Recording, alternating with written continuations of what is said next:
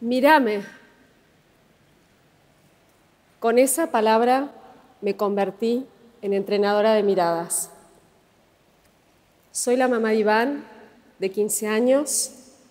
Iván tiene autismo, no habla y se comunica a través de un iPad donde está todo su universo de palabras en imágenes.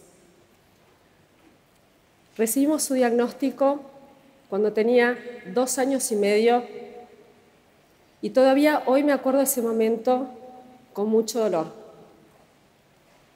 Con mi marido nos sentíamos muy perdidos.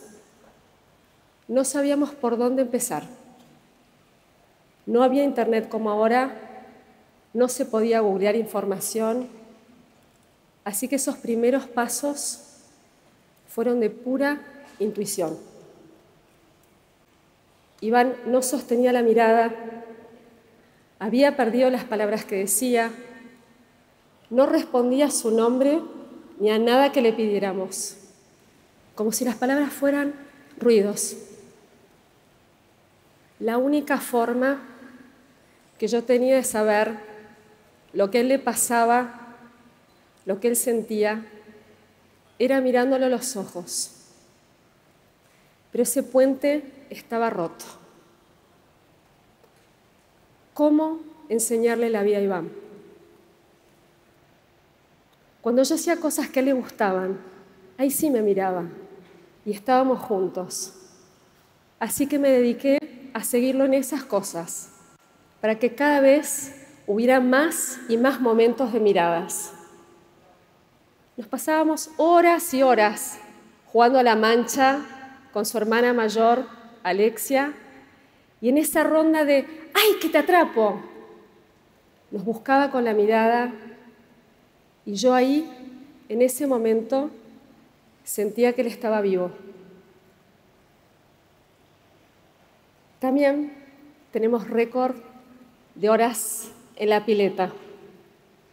Iván siempre tuvo una pasión muy fuerte por el agua. Me acuerdo que tenía dos años y medio y un día de invierno, de mucha lluvia, lo estaba llevando una pileta cubierta, porque ni siquiera esos días dejábamos de ir.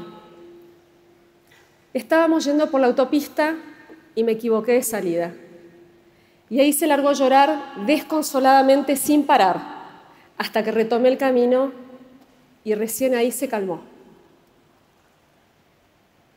¿Cómo era posible que con dos años y medio no respondiera su nombre, pero en el medio de esa lluvia, esa neblina que yo no lograba ver nada, él fuera capaz de reconocer perfectamente el camino. Ahí me di cuenta que Iván tenía una memoria visual excepcional y que esa iba a ser mi puerta de entrada. Así que empecé a sacarle fotos a todo y enseñarle la vida así, mostrándoselas foto a foto. Y todavía hoy sigue siendo la forma en la que Iván nos cuenta lo que él quiere, lo que él necesita y también lo que él siente. Pero no solo estaba la mirada de Iván, también estaba la mirada de los demás. ¿Cómo lograr que no solamente miraran a su autismo, pero que lo miraran a él, con todo lo que él puede dar, con todo lo que él es capaz de hacer, con las cosas que le gustan, las que no, como a cualquiera de nosotros. Pero para eso yo también tenía que poner de mi parte. Yo me tenía que animar a soltarlo. Y me costaba muchísimo.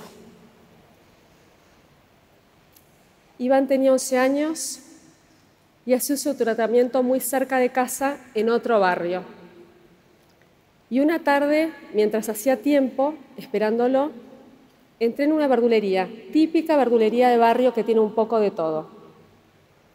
Y entre compra y compra me puse a charlar con José, el dueño.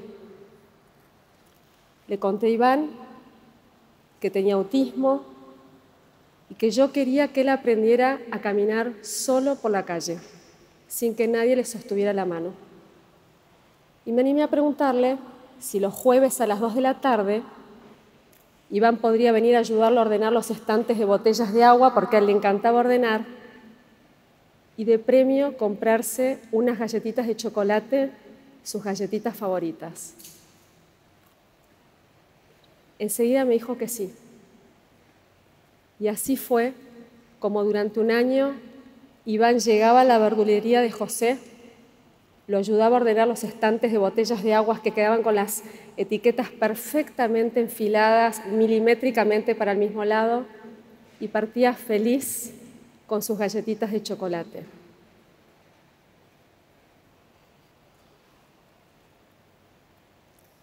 José no es experto en autismo. No hace falta ser expertos en nada, ni hacer ninguna hazaña para incluir a otro. Simplemente tenemos que estar